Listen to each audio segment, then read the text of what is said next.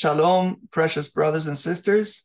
I have a special guest with me today uh, who is joining our gathering. His name is Craig Gagne, and I'll allow him to introduce himself in just a minute. He's going to teach us about Passover and the connection between Passover and Shavuot. We say Shavuot in Hebrew. In English, we say Pentecost, the, the, the holiday of the giving of the Holy Spirit and also the giving of the Torah. So, Craig, please introduce yourself and we'd love to hear the word. Hi, everyone. Yes, uh, my name is Craig Gagne, and uh, I'm originally from northern New York, uh, very close to Akwesasne, um, where um, many uh, indigenous people live. Um, and we, um, I grew up in Malone, New York, um, and I was we live 13 miles from the Quebec border and about to probably 15 minutes from the Ontario border. And uh, I moved to Ottawa uh, after getting married. Um, so I've been living here for over 30 years now. And uh, I came to the Ottawa Messianic Fellowship after asking a double barrel question to the Lord. And he kindly uh, invited me to to this fellowship to learn more. And i've been learning over the years um, and it, it's been a wonderful experience. I i can't every cycle of the torah and the the um, the feast of leviticus has brought new meaning to to the word of god. Uh, both the Old Testament and the, the New Testament. So, what I'd like to speak to you about today is the Omer count of Leviticus. Now, uh, counting the Omer connects us to Exodus, or Exodus from Egypt, uh, to the giving of the Torah on Mount Sinai, which we celebrate every Shavuot to this day. Um, this practice emphasizes the Israelites' journey from the physical freedom, from physical freedom from slavery and bondage to the spiritual liberation from the uh, idolatry of Egypt, leading up to the journey to Mount Sinai, where a marriage covenant or ketubah between Jehovah and the Israelites was proclaimed. The count is also a period of introspection and spiritual development not only as individuals, but as a unified community or a body, having our minds and attitudes changed to become more like Yeshua. As we await and anticipate Jehovah's Holy Spirit working in our hearts. But what exactly is an omer? An omer is a dry measure uh, related to the yield of a sheaf of grain. This measure is disputed by scholars, some placing the measure as 3.64 liters, or just slightly under a US gallon. Um, but the Jewish Study Bible uh, from 2014 places the Omer about 2.3 liters, or slightly over a half a US gallon, um, which is, of course, about two quarts. Though I'm no expert in grains and their yields, I tend to lean towards the, the latter measure. Um, the first mention of the Omer count occurs um, in Exodus 16, 15 to 18 in relation to manna. When the, when the Israelites saw it, they said to each other, What is it? For they did not know what it was. And Moses said to them, This is the bread the Lord has given you to eat. This is what the Lord has commanded everyone is to gather as much as they need. Take an omer for each person you have in your tent. The Israelites did as they were told. Some gathered much, some little. And when they measured it by the omer, the one who gathered much did not have too much, and the one who gathered little did not have too little. Everyone had gathered just as much as they needed the Omer count is first mentioned in the Hebrew Bible, uh, also in Leviticus, um, it is commanded, it's given to the children of Israel by Adonai. And the Lord spoke to Moses, saying, Speak to the children of Israel, saying to them, When you come into the land which I give you, and reap its harvest, then you shall bring a sheaf of the first fruits of your harvest to the priest. He shall wave the sheaf before the Lord to be accepted on your behalf. On the day after the Sabbath, the priest shall wave it, and you shall offer it on that day. When you wave the sheaf, a male lamb of the first year without blemish as the burnt offering to the Lord. It is a grain offering of two tenths of an ephah of fine flour mixed with oil, an offering made to the Lord for a sweet aroma. And its drink offering shall be of wine, one fourth of a hin. You shall eat neither bread, nor parched grain, nor fresh grain until the same day that you have brought the offering to your God. It shall be a statute forever throughout the generations in all your dwellings. And you shall count for yourself from the day after the, sh- the Shabbat, the, the first day of the week, which is Sunday, from the day that you brought the sheaf of the wave offering, seven Sabbaths shall you count. Count 50 days to the day after the seventh Sabbath, and then you shall offer a new grain offering to the Lord. Now, it is important to note that the month of Aviv is directly connected to the ripening of the barley harvest in the spring. The month of Aviv begins once the barley is in the fields and is declared to be fully formed. And the, the new moon cited by two witnesses, only then can the month of the Aviv be declared. The Passover preparations begin. In Deuteronomy 16, 1 through 12, we see the count and its relationship to the Passover and Shavuot, also known as Pentecost. Observe the month of Aviv and keep the Passover to the Lord your God. For in the month of Aviv, the Lord your God brought you out of Egypt by night.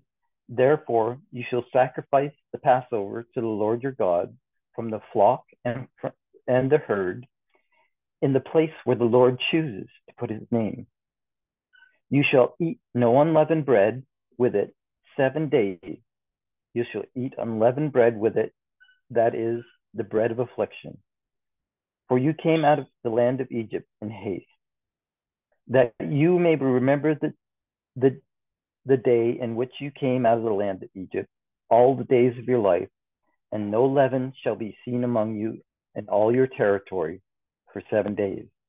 Nor shall any of the meat which you sacrifice the first day at the twilight remain overnight until morning. You may not sacrifice the Passover within any, within any of your gates which the Lord your God gives you, but at the place where the Lord your God chooses to make his his to make his name abide. There you shall sacrifice the Passover at twilight, at the going down of the sun, at the time you came out of Egypt, and you shall roast it and eat it in place which the Lord your God chooses. And in the morning you shall turn and go to your tents. Six days you shall eat unleavened bread, and on the seventh day there shall be a sacred assembly to the Lord your God. You shall do no work on it. You shall count seven weeks for yourself, beginning to count the seven weeks from the time you begin to put the sickle to the grain. Then you shall keep the feast of weeks of the Lord your God with the tribute of a free will offering from your hand, which you shall give as the Lord your God blesses you. You shall rejoice before the Lord your God, and your sons and your daughters, and your male servant and your female servant, and the Levite who is within your gates, the stranger and the fatherless, and the widows among you, at the place where the Lord your God chooses to make his name abide. And you shall remember that you were a slave in Egypt, and you shall be careful to observe these statutes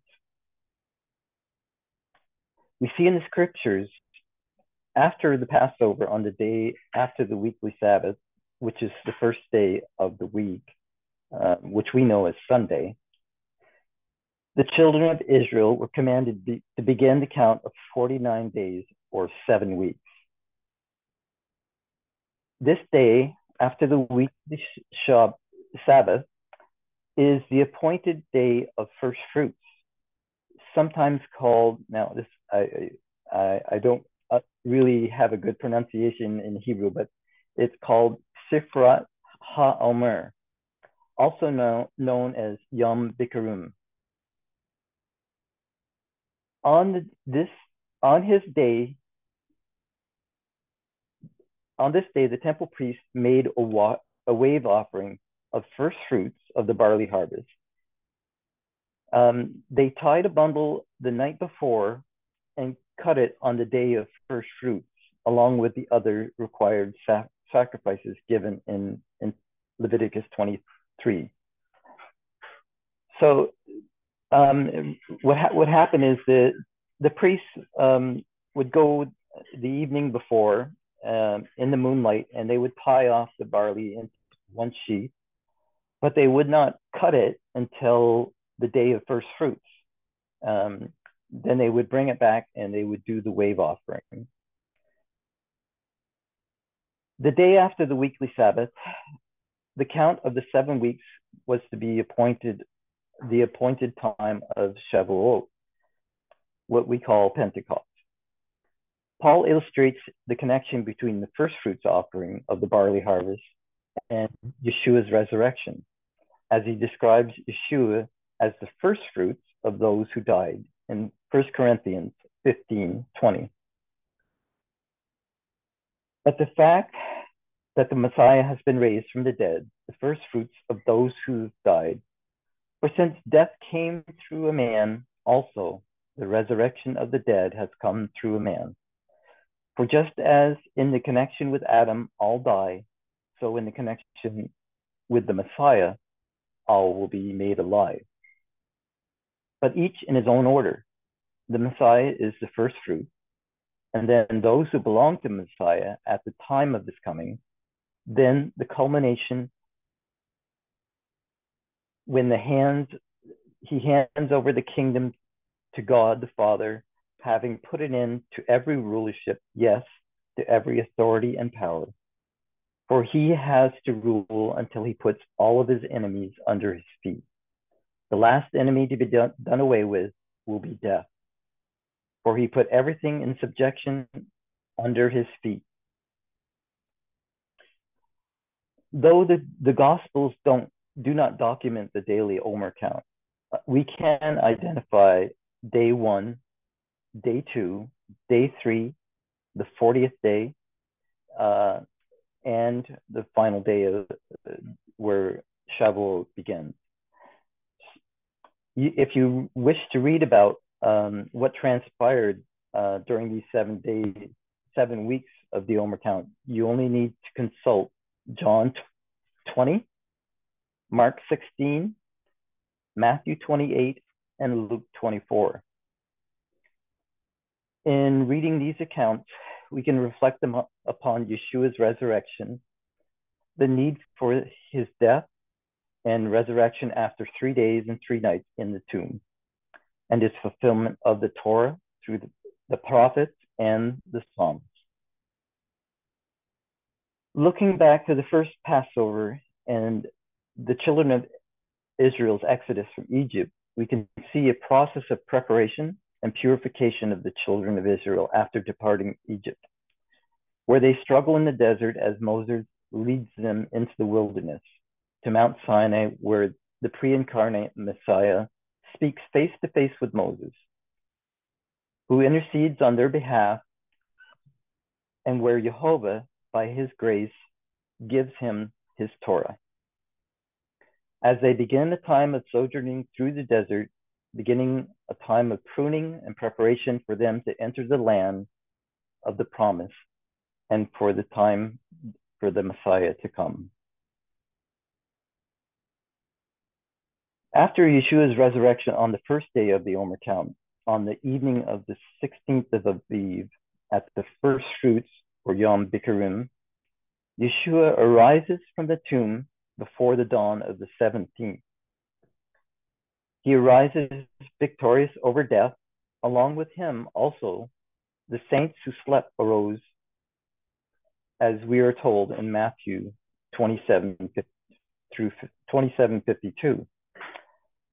Now, after the Sabbath, towards the dawn of the first day of the week, Mary Magdalene and the other Mary went to see the tomb.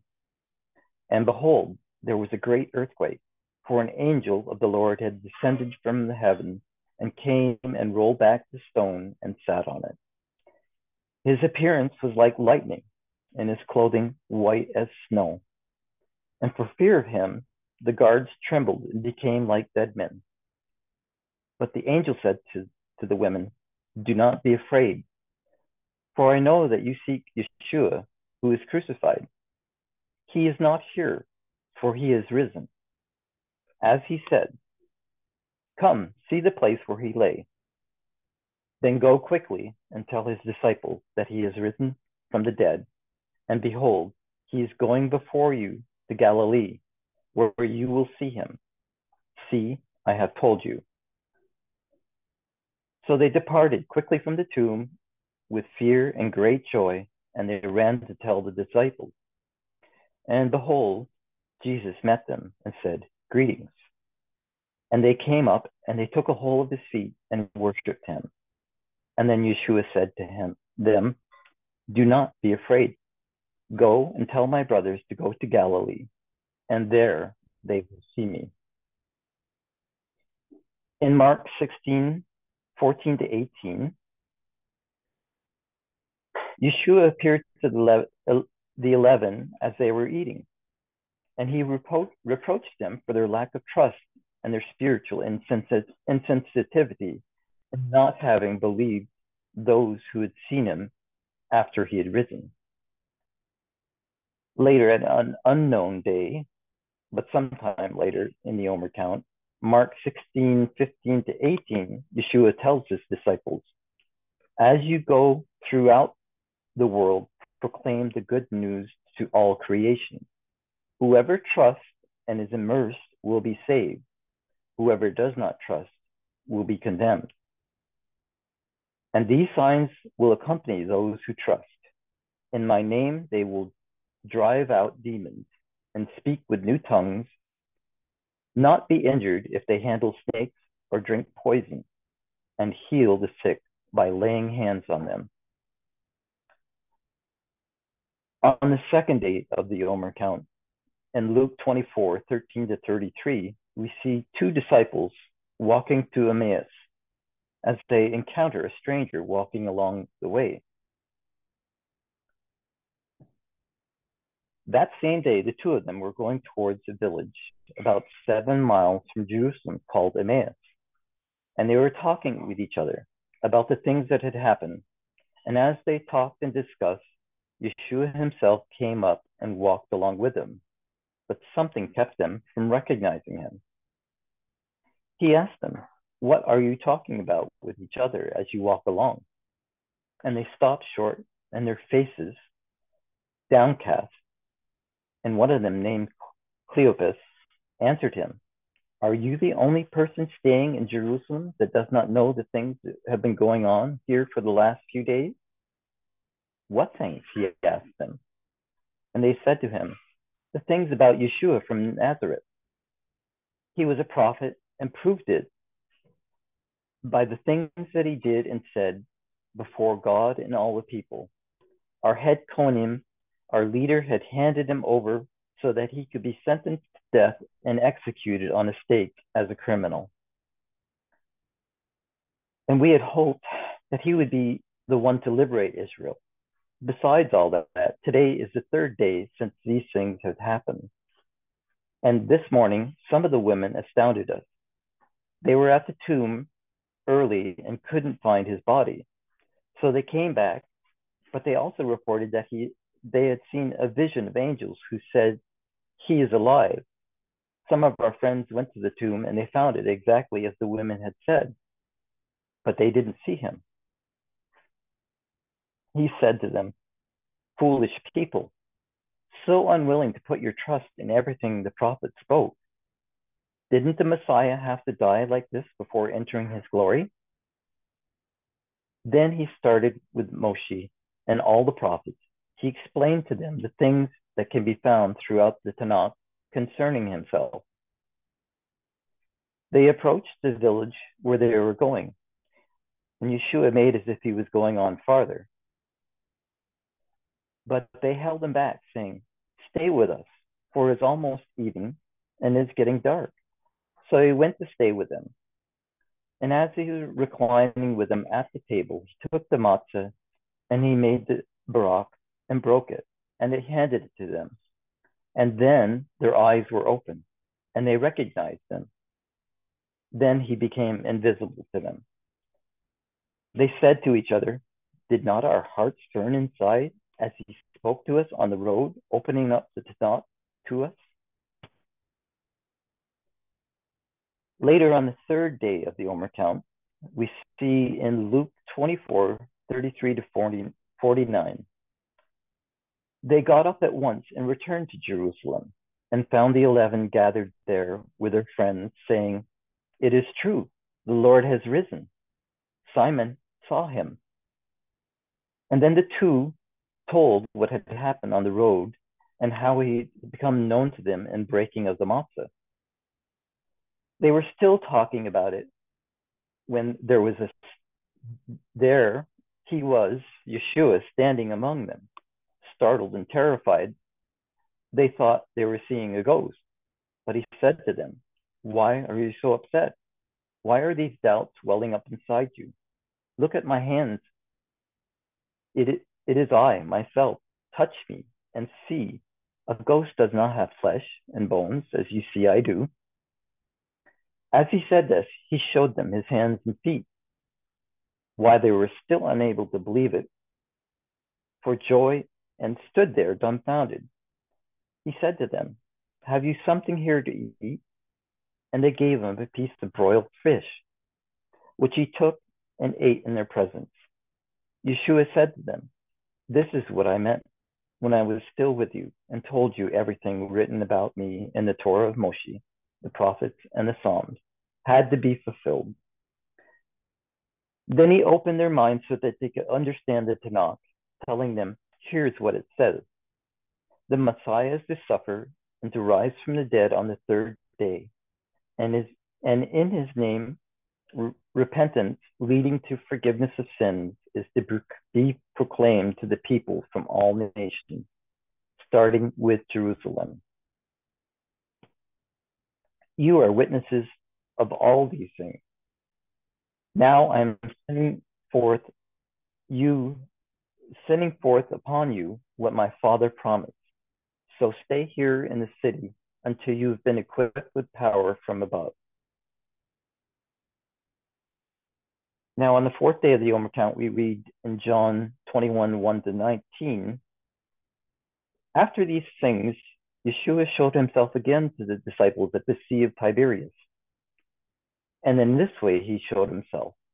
Simon Peter, Thomas, called the twin, Nathanael of Cana, and in Galilee, the sons of Zebedee and the two others of his disciples were together. Simon Peter said to them, I am going fishing. They said to him, We are going with you also. And they went out, immediately got into the boat, and that night they caught nothing. But when the morning came, morning had come, Jesus stood on the shore, yet the disciples did not know that it was him. Then Yeshua said to him, Children, have you any food? They answered him, No. He said to them, Cast the net on the right side of the boat, and you will find some. So they cast, and now they were not able to draw it in because of the multitude of fish. Therefore, the disciple who Jesus loved said to Peter, It is the Lord. Now, when Simon Peter heard that it was the Lord, he put on his outer garments, for he had removed it, and he plunged into the sea. But the other disciples came in the boat, for they were not far from land, but about 200 cubits, dragging a net full of fish. And as then, as soon as they had come to the land, they saw a fire of coals there and fish laid on it, and bread. And Yeshua said to them, Bring some of the fish which you have caught. Simon Peter went up and dragged the net to the land full of large fish, 153. Although there were so many, the net was not broken. Yeshua said to them, Come and eat breakfast. Yet none of the disciples dared to ask him, Who are you? knowing that it was the Lord. Yeshua then came and took the bread and gave it to them, and likewise the fish. This is now the third time that Jesus showed himself to the disciples after he was raised from the dead. So when they had eaten breakfast, Yeshua said to Simon Peter, Simon, son of Jonah, do you love me more than these? He said to him, Yes, Lord, you know that I love you. Yeshua then again said to him, Then he said, sorry, then he said to him, Feed my lambs. He said to them, him again a second time, Simon, son of Jonah, do you love me? And Simon said to him, Yes, Lord, you know that I love you. He said to him, Tend my sheep. He said to him a third time, Simon, son of Jonah, do you love me? Peter was grieved because he said this to him a third time Do you love me?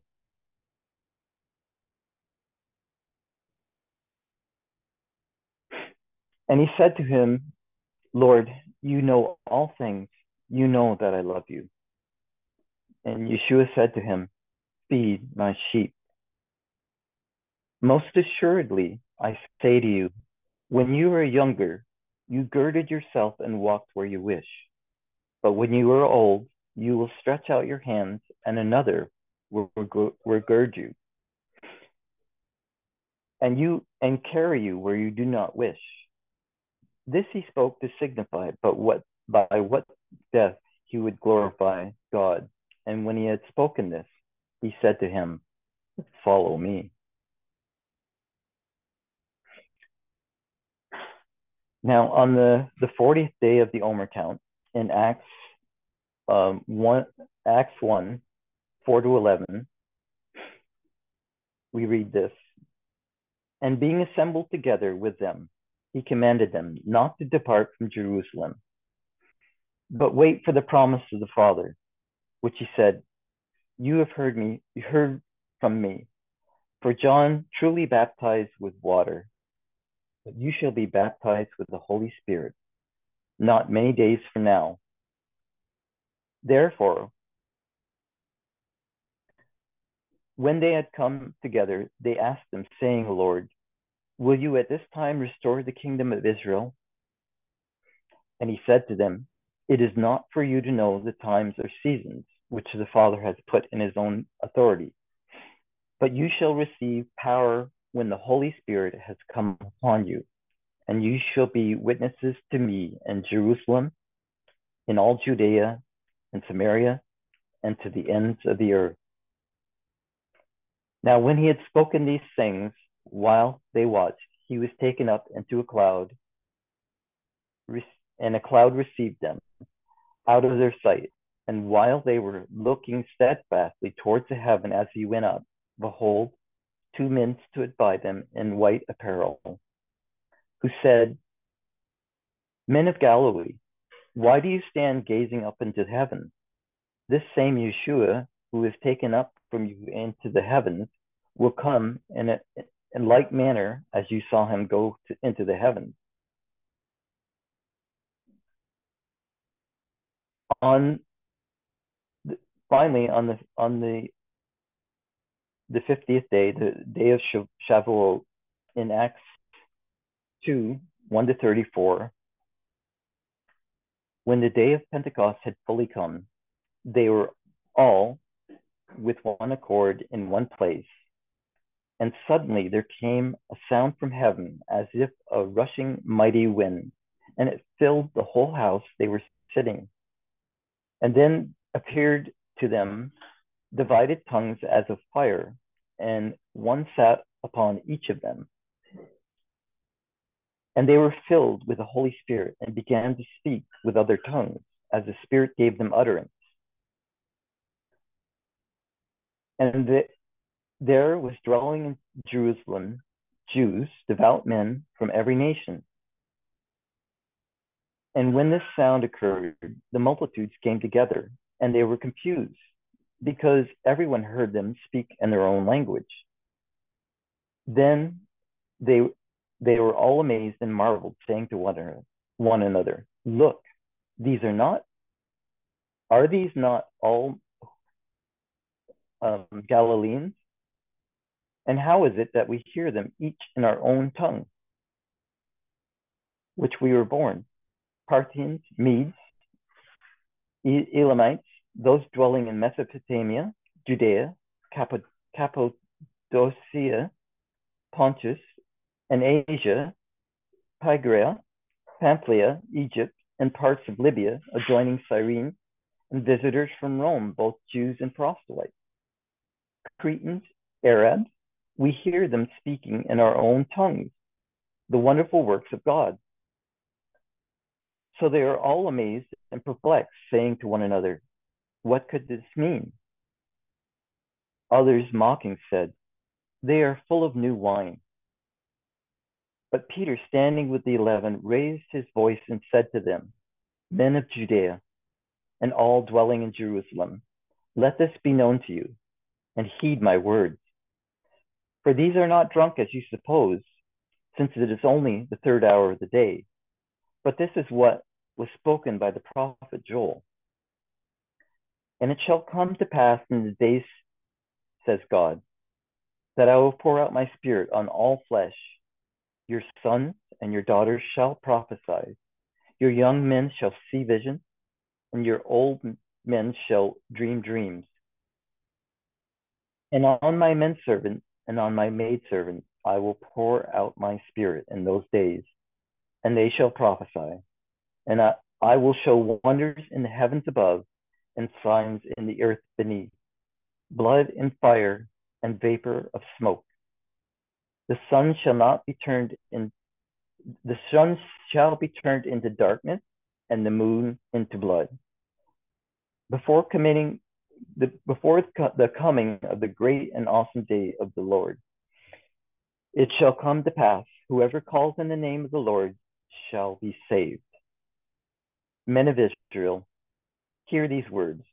Yeshua of Nazareth, a man attested by God to you by miracles, wonders, and signs, which God did through him in your midst, as you yourself know, him being delivered by the by the determined purpose and foreknowledge of God, have taken have taken by lawless hands, have crucified and put to death, whom God raised up, having loosed the pains of death because it was not possible that he should be held by it.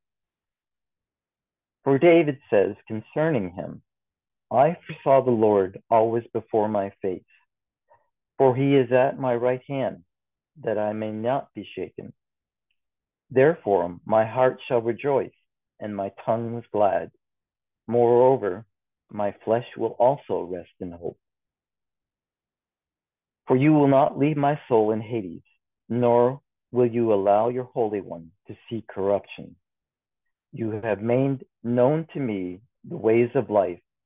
You will make me full of joy in your presence. Men and brethren, let me speak freely to you of the patriarch David, that he is both dead and buried, and his tomb is with us to this day. Therefore, being a prophet and knowing that God had sworn an oath to him that the first fruits of his body, according to the flesh, would be raised up, raise up the Christ to sit on his throne. He, foreseeing this, spoke concerning the resurrection of Christ, that his soul was not left in Hades, nor did his flesh see corruption. This Yeshua God raised up, of which we are all witnesses. Therefore, being exalted to the right hand of God, and having received from the Father the promises of the Holy Spirit, he poured out this which you now see and hear. For David did not ascend to the heavens, but said, but he says himself, the Lord said to my Lord, sit at my right hand till I make your enemies your footstool. Therefore, let all of the house of Israel know assuredly that God has made this Yeshua, whom you had crucified, both Lord and Christ. Now, when they heard this, they were cut to the heart and said to Peter and, and the rest of the apostles, Men and brethren, what shall we do? Then Peter said to them, Repent and let every one of you be baptized in the name of Yeshua the Christ for the remission of sins, and you shall receive the gift of the Holy Spirit.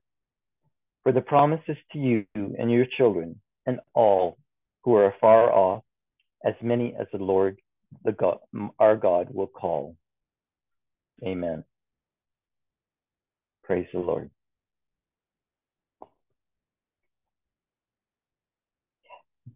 Amen. so much, Craig, for bringing that message. Amen.